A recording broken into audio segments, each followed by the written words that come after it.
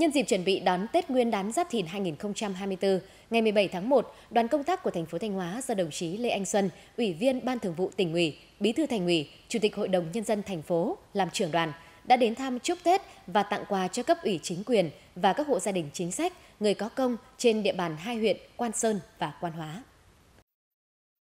Bí thư Thành ủy thành phố Thanh Hóa Lê Anh Xuân đã chúc mừng những kết quả mà Đảng bộ, chính quyền và nhân dân hai huyện Quan Sơn và Quan Hóa đã đạt được trong năm 2023. Đồng chí mong muốn thời gian tới, hai huyện sẽ thực hiện thắng lợi các nhiệm vụ chính trị của địa phương, đảm bảo an ninh chính trị, trật tự an toàn xã hội trước, trong và sau Tết Nguyên đán Giáp Thìn 2024, đặc biệt là quan tâm chăm lo Tết cho nhân dân đầy đủ, đảm bảo không để hộ dân nào không có Tết. Nhân dịp chuẩn bị đón Xuân Giáp Thìn 2024, đồng chí Bí thư Thành ủy thành phố Thanh Hóa đã tặng quỹ hỗ trợ giảm nghèo của mỗi huyện 100 triệu đồng và 20 xuất quà cho gia đình chính sách và người có công trên địa bàn hai huyện Quan Sơn và Quan Hóa.